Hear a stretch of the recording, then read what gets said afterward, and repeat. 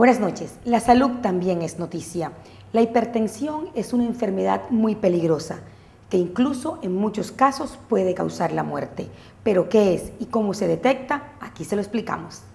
La hipertensión es una de las causas más frecuentes de muerte en el mundo y se presenta cuando aumenta la presión arterial donde los vasos sanguíneos se vuelven más rígidos e impiden el flujo normal de sangre.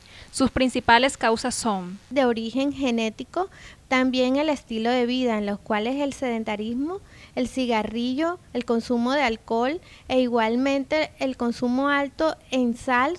Es importante seguir las recomendaciones del especialista. Llevar una vida saludable, en las cuales incluye una dieta rica en vegetales, frutas, bajo consumo de sal e igualmente ejercitarse, hacer ejercicios periódicos y por supuesto llevar controles con su médico.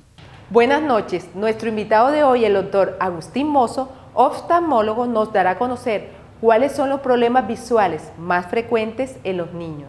Según el especialista, es importante llevar a los niños a que asistan a los controles a partir de los tres años de edad.